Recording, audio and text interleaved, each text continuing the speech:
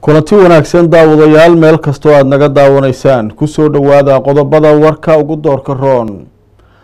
Qarax ismiidaaminah ayaa lagu soo waramayaa maanta inuu ka dhacay magaalada beledweyne iyadoo sidoo kalena weeraro ay halkaasi ka dhaceen. Maamulka puntland ayaa markii ugu horeysay faahfaahin ka bixiyey laba qof oo u kala dhashay waddamada faransiiska iyo ingiriiska oo ay sheegeen inay ahaayeen kooxo basaasiina islamarkaana dhibaato ku hayay kheyraadka puntland. Madaxweynaha puntland cabdiraxmaan faroole ayaa sheegay in uu ku soo arkay waxyaabo aada u dhib badan goobihii uu booqday ee ay dhibaatadu ka geysatay duufaantii roobabka wadatay ee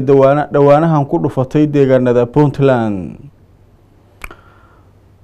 Maamulka ximaniya xeeb iyo qaar ka mid a odayaasha dhaqanka magaalada cadaado ayaa ka codsaday dowladda federaalk soomaaliya inay qeyb ka qaadato sii deynta madaxweynihii maamulkaasi hore tiicay iyo ganacsade afweyne oo labaduba ku xiran biljam loona haysto inay ku lug lahaayeen arrin burcadbadeednimo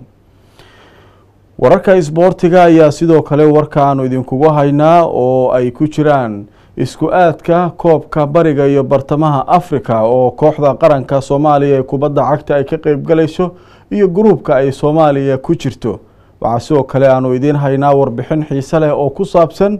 qaabka loo dhaqo kacbada barakaysan ee sharafta leh gudaheeda iyadoo shalaytana furihii kacbada iyo qufulkiiba lagu wareejiyey amiirka gobolka maka al mukarama amiir khaalid al faysal warbixin ayaanu idinkaga haynaa